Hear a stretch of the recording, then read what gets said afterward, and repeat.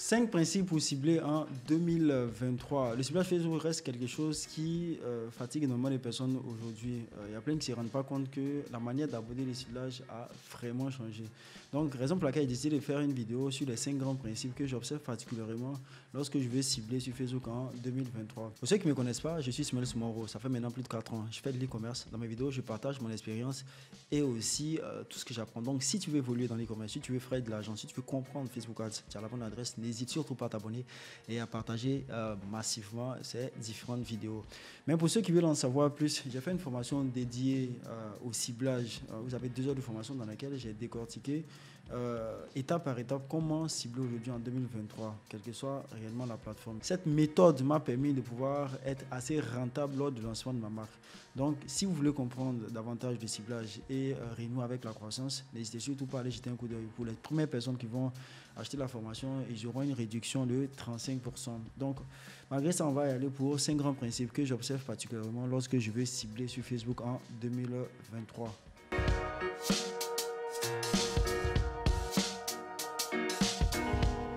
La chose qu'il faut faire lorsqu'on veut cibler efficacement en 2023, c'est bien évidemment faire quand même de recherches sur le public cible.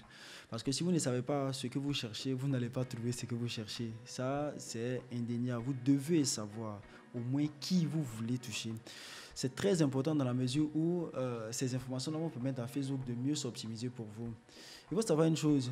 Aujourd'hui, Facebook est devenu une guerre pour celui qui comprend le mieux son client. Donc, qui dit euh, comprend le mieux, c'est-à-dire que connaît les attentes du client. Donc, le fait de faire des recherches du client peut mieux vous orienter dans ce que vous cherchez. Donc, c'est très important de faire quand même des recherches sur votre client cible. La deuxième chose, vous devez faire des créatives qui s'adressent à votre client spécifique. Euh, c'est vrai, le deuxième principe vient du premier, mais de faire des créatives de qualité reste aussi quelque chose qui est super important. Vous voyez les publicitaires, quand ils veulent faire de la publicité ou bien veulent faire des, des affiches publicitaires, comme la publicité c'est quelque chose qui doit être dans la ville, euh, et s'adresse s'adresse pas à tout le monde. Donc la manière d'orienter la publicité, les images qui sont utilisées seront en fonction de ce type de personnes qui veulent toucher. Donc en fonction du type de personnes que vous devez toucher, vous devez faire vos différentes créatives ou même vos différents textes. Ça va permettre de donner quand même un peu plus d'informations à Facebook pour pouvoir mieux s'optimiser. Donc comme je l'ai dit, la manière d'aborder Facebook, le ciblage a changé. Donc si vous ne tenez pas compte de ces différents principes, vous aurez toujours du mal à trouver des gens qualitatifs pour payer vos différents produits. Donc le deuxième principe, c'est bien évidemment de faire des créatives axées sur les types de personnes que vous recherchez. Le troisième grand principe, vous devez cibler large. Avant, on pouvait faire des micro-ciblages, c'est-à-dire cibler spécifiquement, trouver des audiences assez spécifiques sur lesquelles on peut cibler. Ça, c'est une erreur monumentale parce qu'il y a beaucoup d'intérêts qui ont été supprimés. Donc, étant donné qu'il y a beaucoup d'intérêts qui ne sont plus là, vous devez opter pour les intérêts larges. Comme ça, au moins, de un, ça donne beaucoup d'informations à Facebook pour pouvoir s'optimiser, pour trouver des gens pour vous.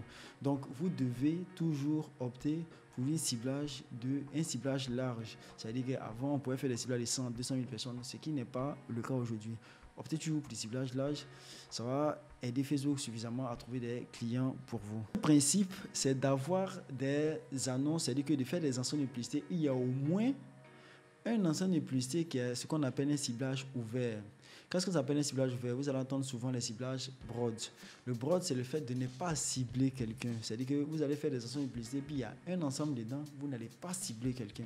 Vous allez laisser le libre choix à Facebook de s'optimiser lui-même pour trouver des clients pour vous.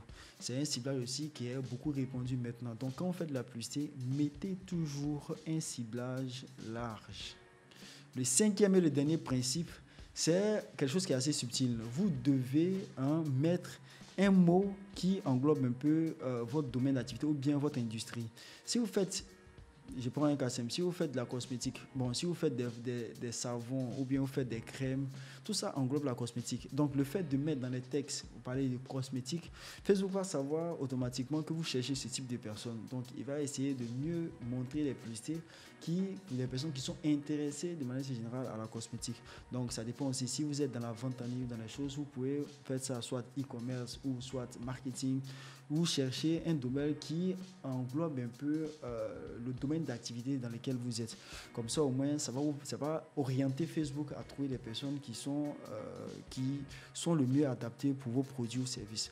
Comme vous pouvez le constater, aujourd'hui, Facebook a évolué, comme je l'ai dit. Ces principes-là, si vous les observez, vous pouvez augmenter la qualité de votre ciblage avec Facebook. Et ça va vous aider à trouver de, plus de personnes par rapport à vos différentes publicités.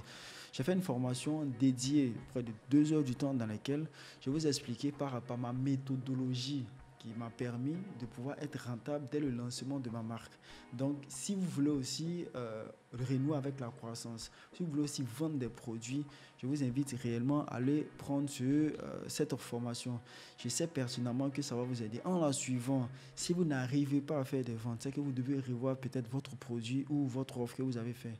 Parce que c'est cette méthode que j'utilise tout le temps pour positionner mes produits sur Facebook et ça fonctionne toujours. Sur ce, ça m'a fait super plaisir de partager ces cinq grands principes avec vous. J'espère que vous allez faire bon usage. On se dit à très bientôt pour d'autres vidéos.